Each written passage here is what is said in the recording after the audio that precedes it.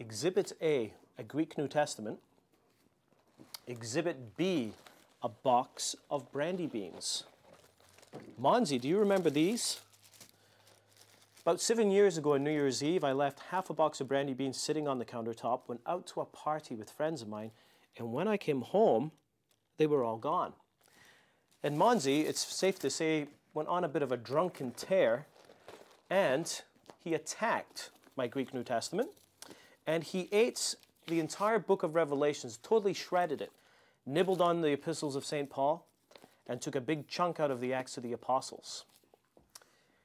And I think it's fair to say that my dog loves the taste of Scripture.